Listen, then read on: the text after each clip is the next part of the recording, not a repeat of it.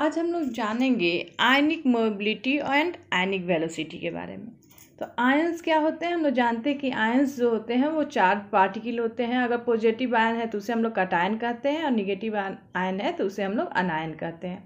यही आयंस जो होते हैं, यानी कि कटायन और अनायन वो रिस्पॉन्सिबल होते हैं किसी इलेक्ट्रोलाइट के कंडक्टेंस के बारे में।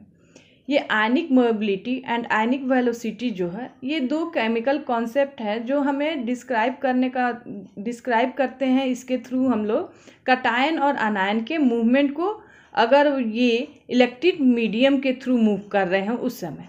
तो आयनिक मोबिलिटी क्या है? Then ionic mobility is the ability of ion to move through a electrolytic medium under a potential gradient ionic mobility ions की एबिलिटी है जो जिसके थ्रू वो लोग क्या करते हैं, किसी भी इलेक्ट इलेक्ट्रोलिटिक मीडियम में मूव करते हैं, अगर उस मीडियम में पोटेंशियल ग्रेडियंट यानी कि इलेक्ट्रिक करंट जो हो, वो फ्लो कर रहा है उस समय। और ये क्या होगा? ये कांस्टेंट पोटेंशियल ग्रेडियंट रहता है। तो that is speed of an ion under unit potential gradient is called ionic mobility ionic mobility क्या है? आयंस का स्पीड अगर हम यूनिट पोटेंशियल ग्रेडियंट जो है इलेक्ट्रोलिटिक मीडियम में यूज़ कर रहे हैं उस समय। तो मान लीजिए कि हमारे पास एक सेल है, एक सेल है जिसमें हमने क्या किया है, ये सेल है और इसके अंदर इस इलेक्ट्रोड के बीच का जो डिस्टेंस है वो वन सेंटीमीटर यूनिट है, ये एल है, ठीक है? इसको लेंथ को हमने एल मान लिया। और इसमें जो इलेक्ट्रोड्स हैं उसको हमने एक बैटरी से ऐड कर दिया, जिसके लिए क्या है? ये वी वोल्ट का है। अब ये माइनस वाला टर्मिनल से जो इलेक्ट्रोड जुड़ा रहेगा, उसे हम लोग कैथोड कहेंगे और पॉजिटिव जो टर्मिनल होगा, उससे जो इलेक्ट्रोड जुड़ा रहता है, उसे हम लोग एनोड कहते हैं। ये है एनोड और ये है कैथोड तो जो ये आयन इसमें हम मान लीजिए हमने एन डाल दिया है। इसके अंदर हमने एन डाल दिया है। तो ये एन क्या होगा? जब सॉल्यूशन में जाएगा तो ये डिसोसिएट कर जाएगा एन प्लस में और सी एल माइनस से। तो जिस स्पीड से, जब हमने क्या किया हो यहाँ पे यूनिट पोटेंशियल ग्रेडियंट रखा हो तो जिस स्पीड से ये सी एल माइनस और ये एन ए प्लस जो है, इन इलेक्ट्रोड्स की तरफ़ मूव करता है, उसे हम लोग क्या कहते हैं? आयनिक मोबिलिटी कहते हैं। और पोटेंशियल ग्रेडियंट को हम लोग कैसे डिफाइन करते हैं कि applied EMF potential gradient is equal to applied EMF by distance between electrode तो यहाँ पर डिस्टेंस हमने एल लिया है और अप्लाइड ईएमएफ वी था तो पोटेंशियल ग्रेडियंट क्या हो जाएगा? वी बाई एल इसे हम लोग ई से डिनोट कर रहे हैं। इसके लिए हमारा यूनिट क्या हो जाएगा? वोल्ट पर सेंटीमीटर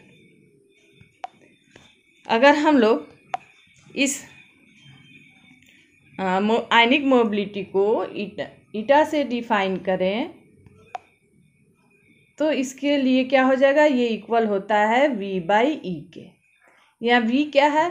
वेलोसिटी है आयंस का एंड ई e क्या है? ये है अप्लाइड इलेक्ट्रिक फ़ील्ड या फिर हम इसे कह सकते हैं पोटेंशियल ग्रेडियंट जो ये ई e है, वो डिपेंड करता है, ये जो ई e है, वो डिपेंड करता है रेसिस्टेंस के।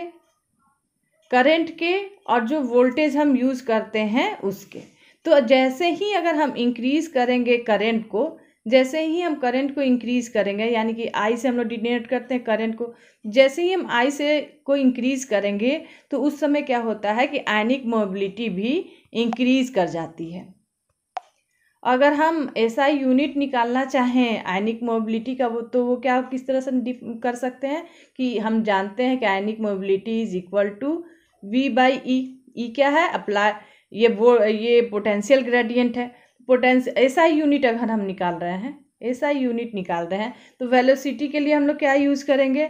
मीटर पर second and and potential gradient क्या होगा? वोल्ट पर मीटर तो हमारे पास जो यूनिट निकल के आता है आयनिक मोबिलिटी का वो होता है मीटर पर स्क्वायर मीटर स्क्वायर पर वोल्ट पर सेकेंड क्या होता है मीटर स्क्वायर पर वोल्ट पर सेकेंड और हम लोग कटायन के लिए, कटायन के लिए अगर आयनिक मोबिलिटी को डिफाइन करें तो उसे हम लोग कर सकते हैं वेलोसिटी ऑफ़ कटायन बाई जो भी अप्लाइड पोटेंशियल ग्रेडियंट है वी बाई एल और हम लोग जानते हैं कि एट इन्फेनाइट डेल्यूशन ये कितने के बराबर होगा? लेमडा प्लस के, यानी कि जो भी कंडक्टेंस इस कटायन के लिए मिल रहा है हमें। कटायन से जो कंडक्टेंस हो रहा है, उसके और जो चार्ज है कटायन पे, जो यूनिट चार्ज है कटायन पे इनटू एफ़ एफ़ क्या है यहाँ पे? फराडे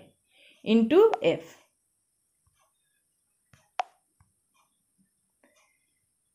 सिमिलरली अगर हम चाहें तो ये सेम चीज़ हम लोग अनायन के लिए भी दे सकते हैं। वहाँ पे अनायन के लिए आयनिक मोबिलिटी क्या हो जाएगी? Velocity of anion by V by L V क्या है? अप्लाई वोल्ट है, जो अप्लाई जो अप्लाइड ईएमएफ है। एंड ये किसके बराबर हो जाएगा? Conductance due to anion by unit charge on cation into Faraday Faraday कितने के इक्वल होता है? Nine six five zero zero coulomb के बराबर होता है। इन सभी का यूज़ हम लोग कहाँ करेंगे? न्यूमेरिकल में इसका यूज़ होगा। तो यहाँ पे क्या है? जो v प्लस है वो वेलोसिटी है कटायन की। V माइनस जो है वो वेलोसिटी है अनायन की। जो कैपिटल v है वो क्या है? Potential difference applied and l जो है separation between electrode L plus क्या है? Ionic conductance of positive ion यानी कि cation and L lambda minus क्या है? Ionic conductance of anion Z plus क्या है? Unit of charge on cation मान लीजिए हमने एम जी टू प्लस लिया। तो यहाँ पे जेड क्या हो जाएगा? यानी कि जेड का वैल्यू हो जाएगा टू अगर N A N A plus रहता तो क्या होता था? Z equal two one C A two plus रहता तो जेड इजिकल टू टू इस तरह से होते जाएगा। वैसे ही, और जेड माइनस क्या था? Unit of charge on anion C L minus अगर है तो यहाँ पे कितना चार्ज है सी एल पे? एक यूनिट है। तो जेड माइनस क्या हो जाएगा? वन उसी तरह से अगर जिस तरह का भी वहाँ पे कटायन या अनायन हमारे इलेक्ट्रोलाइट में है, उसके लिए हम जेड निकालेंगे। ठीक है? और एफ़ क्या होता है? Nine six five zero zero coulomb अब हम एब्सोलूट आयनिक मोबिलिटी भी निकालते हैं। जब एब्सोलूट निकालेंगे तो हमें क्या ये इसका मतलब क्या होता है कि ionic mobility at infinite dilution तो हमें क्या निकालना होगा कि हम वी बाई एल तो सेम रह जाएगा। केवल कटायन और अनायन की वेलोसिटी एट इन्फानाइट डाइल्यूशन हमें पता होना चाहिए। तो हम निकाल सकते हैं ionic mobility at infinite dilution for cation is equal to velocity of cation at infinite dilution by volt voltage applied by length of between electrode जो कि इक्वल होगा किसके? जो कि इक्वल होगा इस इस लेमडा प्लस एट इन्फेनाइट मतलब जो conductance at conduction due to cation at infinite dilution by Z plus into F Z plus क्या है? Unit charge on cation and F क्या है?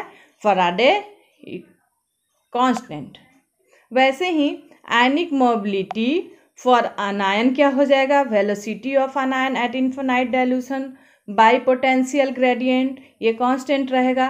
और जो कि इक्वल होगा किसके बराबर? Conductance of anion at infinite dilution by unit charge on anion into Faraday constant तो इस तरह से हम लोग क्या कर सकते हैं? आयनिक मोबिलिटी जो है अनायन और कटायन का निकाल सकते हैं। अब हम लोग जानते हैं कि अनायनिक आयनिक वेलोसिटी क्या होती है? कि जब हम लोग कहीं पर भी इलेक्ट्रिक फ़ील्ड जो होता है अप्लाइड करेंगे तो आयंस मूव करेंगे। और ये जो आयन का स्पीड होगा, वो डिपेंड करता है कि कैसा आयन है, उसका चार्ज क्या है सेप कैसा है साइज़ कैसा है। अगर कोई चीज़ हेवियर है ब्लकियर आयन है मतलब कि उसका हेवी है, ज़्यादा वेट का है तो क्या होगा, वो स्लोली मूवमेंट करेगा। और उस वक्त हम लोग जो है वेलोसिटी ऑफ़ आयन जो है, उसका मैथमेटिकली हम लोग देते हैं। डिफाइन करना चाहें तो इसको कर सकते हैं कि ionic velocity is the velocity when an electric field is applied in ions ions move the motion of ion is characterise by charge shape and size and heavier और bulkier ion move slowly and the velocity of ion is given mathematically जब हम लोग electric field applied करें, उस समय किसी ion की क्या वेलोसिटी होगी? उसे हम लोग आयनिक वेलोसिटी बोलते हैं।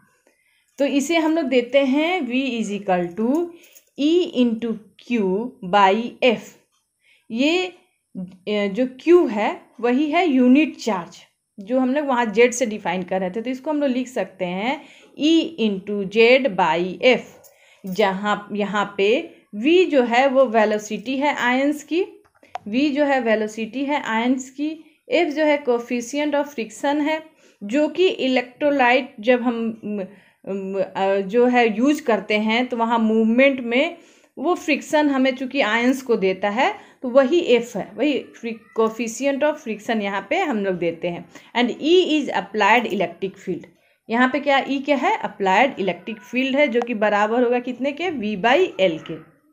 ये ई e कितने के इक्वल है? वी बाई एल के। और क्यू क्या है? नेट चार्ज जिसे हम लोग जेड से ही वहाँ पर डिफाइन करते हैं क्यू और जेड दोनों लिखा हुआ हमें मिल सकता है। दोनों बात सेम है। When an ion moves through a medium the medium exert a friction force on ion कभी भी हम आयन जो हम ले रहे हैं, वो किसी इलेक्ट्रोलाइट में ले रहे हैं, किसी मीडियम में वो रहेगा। तो जब ये आयन मूव करेगा तो वो मीडियम जो है, उसको फ्रिक्शन देगा।